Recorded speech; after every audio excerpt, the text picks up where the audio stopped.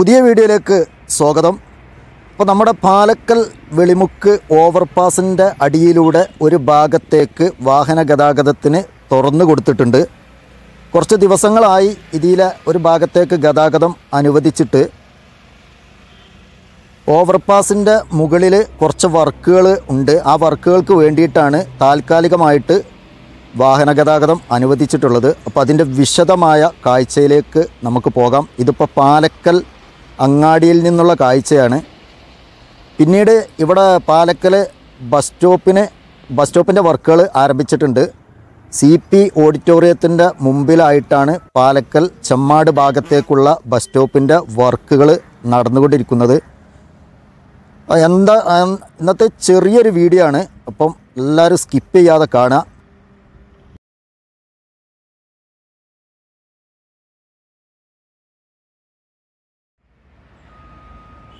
ഇത് വെളിമുക്ക് ഭാഗത്തുനിന്ന് കോഴിക്കോട് ഭാഗത്തേക്ക് വാഹനങ്ങൾ ഓവർപാസിന്റെ അടിയിലൂടെ കടന്നു പോകുന്ന കാഴ്ചയാണ്.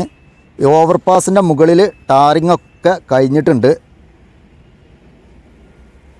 നല്ല അടിപൊളി ടാറിങ് ആട്ടോ ഓവർപാസിന്റെ മുകളിൽ ചെയ്തിട്ടുള്ളത്. പിന്നീട് ഇവിടെയാണ് വർക്ക് നടക്കുന്നത്. അപ്പോൾ ഈ വർക്കുകൾ തീർക്കാൻ വേണ്ടിയിട്ടാണ് താൽക്കാലികമായിട്ട് ഓവർപാസിന്റെ അടിയിലൂടെ വാഹനങ്ങൾ കടത്തി വിട്ടിട്ടുള്ളത് അപ്പോൾ ഇവിടെ എന്താണ് വർക്ക് നടക്കുന്നത് എന്ന് ഇവിടെ ഈ ഓവർപാസ് കഴിഞ്ഞിട്ട് പിന്നീട് സർവീസ് റോഡിന്റെ ഭാഗത്ത് വരുക വരുന്നത് കോൺക്രീറ്റിന്റെ ഒരു ഭാഗമാണ്.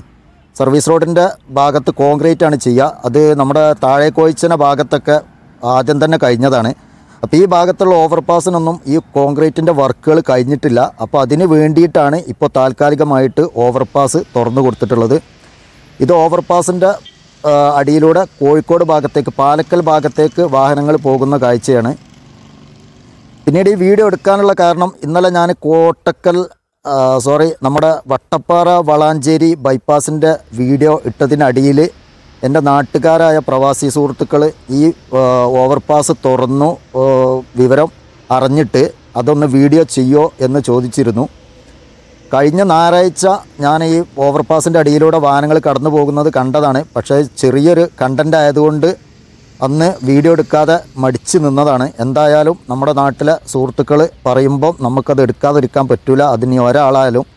അപ്പോൾ ഞാൻ വെളിമുക്കിലെത്തിയിട്ടുണ്ട്. വെളിമുക്ക് റോഡ് പണിയിലൊരു ഭാഗ്യം ചെയ്ത അങ്ങാടിയാണെന്ന് പറയാം. കാരണം ഒരേ ലെവലിൽ റോഡ് പോകുന്നു. അതേപോലെ തന്നെ ഇരുഭാഗത്തേക്കും വെളിമുക്ക് ടൗണിൽ മെർജിങ് പോയിന്റ് ഉണ്ട്. അപ്പോൾ ഇപ്പം വെളിമുക്ക് കോഴിക്കോട് ഭാഗത്തേക്ക് പോകുന്ന മെർജിംഗ് പോയിന്റിന്റെ ഭാഗത്തു നിന്നാണ് വാഹനങ്ങൾ പ്രധാന ഹൈവേയിലേക്ക് താൽക്കാലികമായിട്ട് കടത്തി വിട്ടിട്ടുള്ളത്. വെളിമുക്കിൽ പഴയ റോഡിലും കുറച്ച് താഴ്ന്നിട്ടാണ് ഇപ്പോഴത്തെ പുതിയ റോഡ് കടന്നു പോകുന്നത്. അപ്പോൾ ഒരു ഭാഗത്തെ ബിൽഡിങ്ങുകളൊക്കെ ഏകദേശം ഒരു ഒന്നൊന്നര മീറ്റർ ഹൈറ്റിലാണ് ഇപ്പോൾ ഉള്ളത്.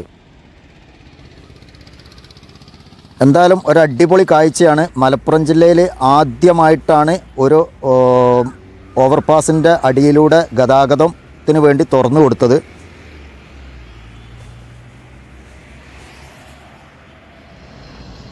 ഓവർപാസിന്റെ വർക്കുകളെ വീഡിയോ ചെയ്യുമ്പം പല സുഹൃത്തുക്കളും ചോദിക്കാറുണ്ട് ഓവർപാസിന്റെ അടിയിലൂടെ മൂന്ന് വാഹനങ്ങൾ കടന്നു പോകുമോ എന്നുള്ളത്.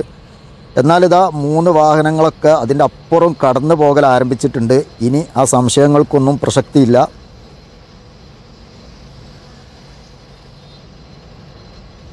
അണ്ടർപാസുകളുടെ പെയിന്റിങ് ആരംഭിച്ചിട്ടുണ്ട്. ഓവർപാസുകൾ ഇനി പെയിന്റ് ചെയ്യുമെന്ന് അറിയില്ല. അപ്പോൾ അണ്ടർപാസുകളുടെ പെയിന്റിങ് ആരംഭിച്ചൊരു വീഡിയോ ഞാൻ ചെയ്തിരുന്നു. അത് ഞാൻ ലാസ്റ്റ് എന്റെ സ്ക്രീനിലും ഡിസ്ക്രിപ്ഷനിലും കൊടുക്കുക കാണാത്തവർ കാണുക. എന്തായാലും മലപ്പുറം ജില്ലയിൽ ആദ്യമായിട്ട് ഒരു ഓവർപാസിന്റെ അടിയിലൂടെ ഗതാഗതം അനുവദിച്ച കാഴ്ചകളാണ്. അപ്പോൾ അത് എല്ലാ ഭാഗത്തുനിന്നും കാണിച്ചു തരാം. കണ്ടോ? എത്ര വാഹനങ്ങളും പോകട്ടോ മൂ എത്ര എണ്ണം എന്നല്ല മൂന്നെണ്ണമൊക്കെ സിമ്പിളായിട്ട് പോവും.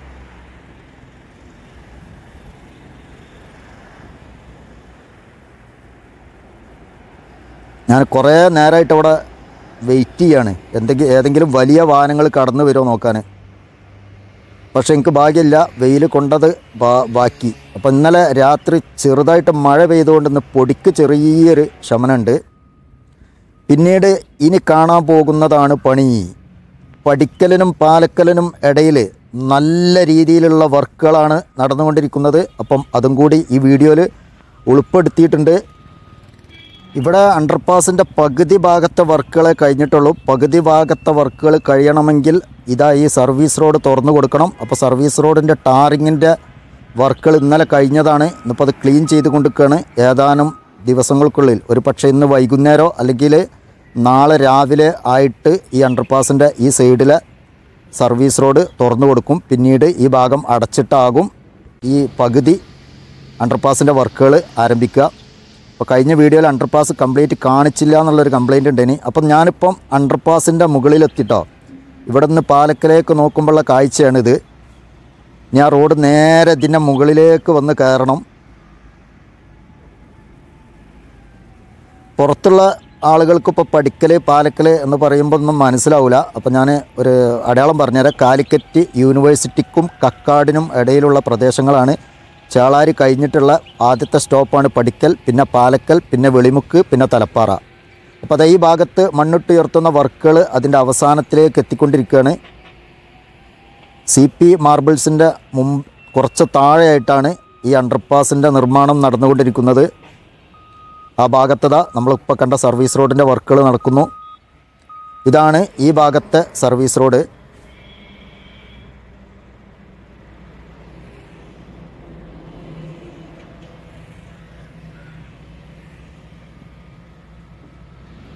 ഇവിടെ ഇതാ ടാറിങ്ങിന്റെ ആദ്യഘട്ടമുള്ള വർക്കുകൾ തുടങ്ങിയിട്ടുണ്ട്. ഇത് അണ്ടർപാസിന്റെ കുറച്ച് ബാക്കിലായിട്ടാണ് അപ്പോൾ ഇവിടെ ഒരുപാട് കാലമായിട്ട് വർക്കുകൾ നിർത്തി നിർത്തിവെച്ചതിന് അതാ അണ്ടർപാസിനോടനുബന്ധിച്ച പ്രശ്നങ്ങൾ കാരണമായിരിക്കാം ഇവിടെ അത്ര വൈകിയത്. എന്തായാലും ഇപ്പോൾ നല്ല രീതിയിൽ വർക്കുകൾ ആരംഭിച്ചിട്ടുണ്ട്.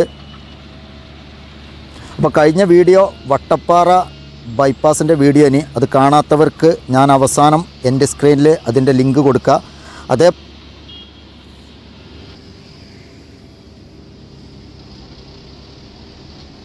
മക്കൾ സ്കൂളിലേക്ക് പോകാൻ ബസ് കയറുകയാണ്. ഇന്ന് ബുധനാഴ്ച ആയതുകൊണ്ട് യൂണിഫോമൊന്നുമില്ല നല്ല കളർഫുള്ളാണ് കുട്ടികൾ